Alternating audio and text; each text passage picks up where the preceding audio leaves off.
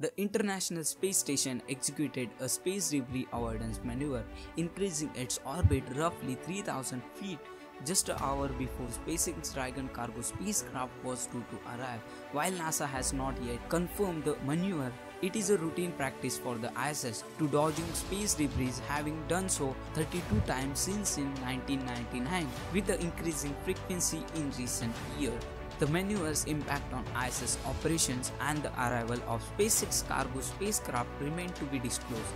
The polarification of satellites and debris in Earth orbit has heightened the need for such avoidance maneuvers. Follow for more such space updates.